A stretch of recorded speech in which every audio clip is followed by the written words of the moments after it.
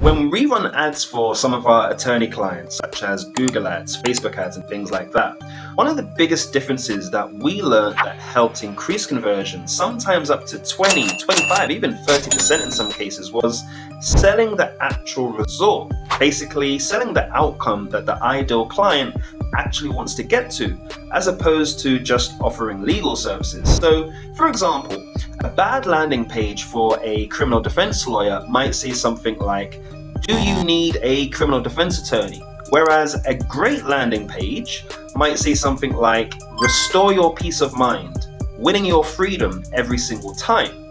So everything in your messaging, guys, should only be about three things, okay? Number one, what does your ideal client actually want?